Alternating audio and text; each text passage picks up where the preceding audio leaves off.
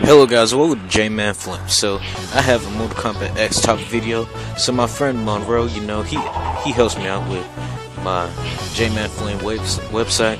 And so he asked me about who I think could be the final boss for MKX. Cause, you know, I haven't really done anything or said anything about it.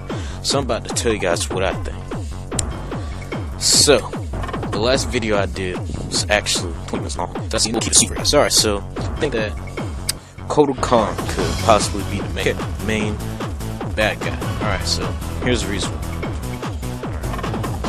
Because, you know, it kind of seemed like in the beginning that he was going to be the bad guy, but now we're getting more and more into it. I don't know about it. I mean, he's trying to team up with Earth Realm and stuff to take out Mileena because, you know, he been in war with her for 10 years. That's too long to get honest. Then I think Mileena because, you know, well, now she's the Empress. Alright, you guys. And so basically, she took Shao Kahn's role because, you know, good old Shao Kahn got killed by Raiden.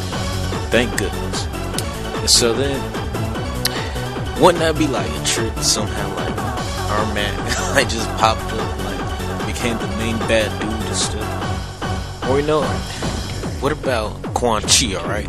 Because Quan Chi has been trying to take over different realms and stuff. And you know, he tried to do it with Shang Tsung, Shinnok.